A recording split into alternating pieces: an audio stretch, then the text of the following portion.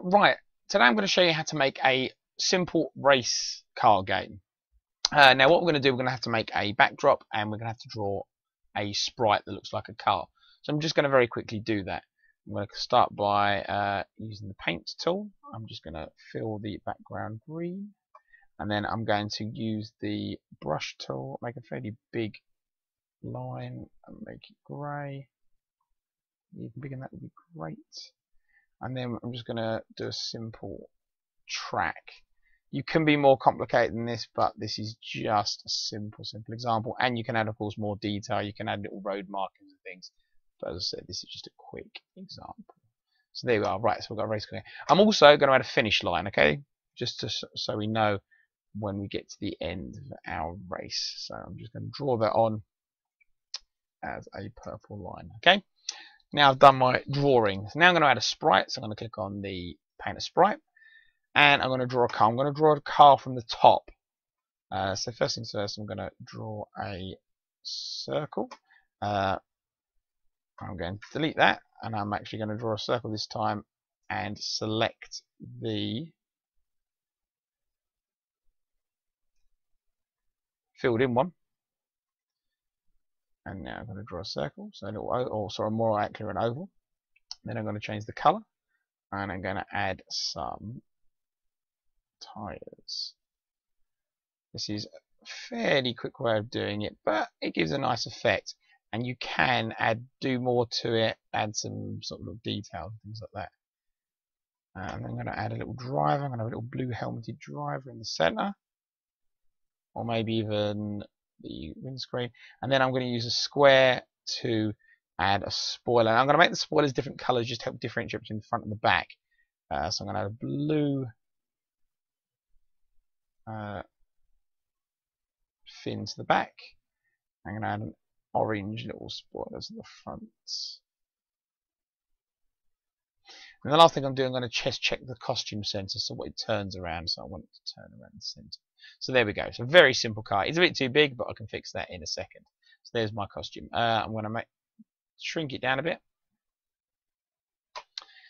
And then I can click and move it around. So I want my car to be here. You notice it is the wrong way around, but I can fix that in a moment. So there's a couple of different ways. In fact, the easiest way to do it actually is just to use this and spin it round. So it's switched, so it's pointing in the right direction. Done. Nice and easy.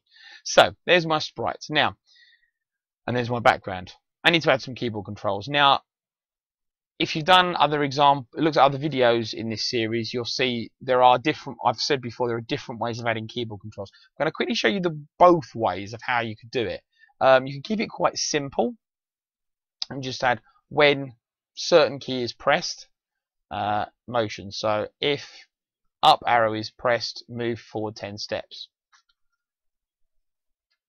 and that's fine. And then if I duplicate this, when down arrow is pressed, you can move minus 10 steps, will also work. And then when it comes to uh, more motion, when the right arrow is pressed, you want it to turn in the right direction.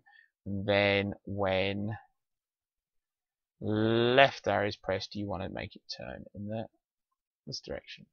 Uh, so then, as you see, it turns the only problem I have with this slightly is cars do not do not spin on the spot. Uh, it still works in the same way, but it's not quite as fluid as other control methods.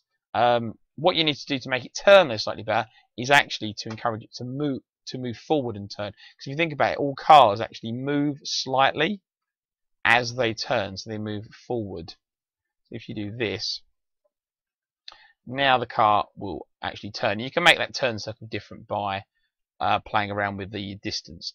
So that's one way of doing control. The other way, and I'm going to use some of this information already, is using a if statement. So if the up arrow key is pressed, then move 10 steps. What this does, it sort of it it allows more than one key to be pressed at the same time. And this is waiting for you to push the key, then it happens. Where this is actually expecting the key to be pressed. So this is a bit more responsive and instantaneous. With this, actually, is like I'm waiting for you to push the key, then I'll do it. Where this, the actual program is running all the time because you're going to put a forever loop around it, and you're going to say forever if the to then do something. So it's, it's always expecting a key to be pressed, and, and when it does, then it acts on it. So it's just a little bit more responsive. It's a bit quicker. Um, so let me just quickly pull this together, and you'll see the and you'll see the difference on screen. But definitely when you play it, you'll see a much better difference. Let's just duplicate this. I don't need to make it. duplicate.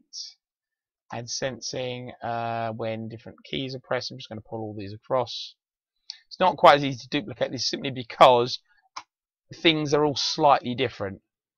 Down arrow, right, and then left. But I can bot take all of this stuff, so I'm just going to duplicate this. When it's up, it's going to move forward. When it's down, it's minus 10. And just to keep the little turn circle, I'm going to put those in. So now what will happen? Now, the problem with this is uh, I really need to delete this because otherwise it's going to be doing two things at once. So I am going to just get rid of these. And now what will happen when you start the game is now running and the car moves more fluidly. I don't know if you can tell the difference just by looking. It's not uh, it's not sort of stuttering and it moves far quicker and far more fluidly and you can move forward and turn at the same time. So that's the control method I would suggest you show people, um, but you don't have to. You can use the one I've just shown before. But anyway, right. So we've got some controls. The car is moving.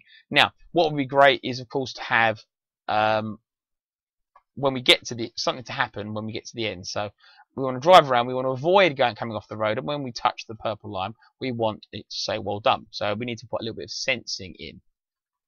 So let me just get the car back to here. So I'm going to go to the car and I'm going to add a bit more information. So basically I want this to happen again always. And I want it to ask, so if it is touching the color green in this case, I want it to actually go, oh, you've come off the road. I want it to say something. And so under looks, a little speech bubble can pop and say, hello. You go, you have come off the road. Now you don't want it to set for two seconds because it will pause the game. You want it to set for about half a second. Um, and so when it comes, when it goes to green, it'll say come off the road. But then you actually don't, you you know, if you come off the road, you want it to reset. You want to you want to get the player to stay on the path. So then you reset it. So if I go to motion, you can actually say go to. Now, little trick with this, if you move the car around, this sprite, it tells you where it currently is. So if I put him here, that is his current position. So I want him to go there. I also want him to point in this direction. Now, if you click on the information, current direction is 75.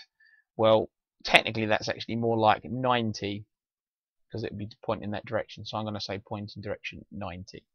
Because if I do this, he's basically pointing straight forward. So now let's try that.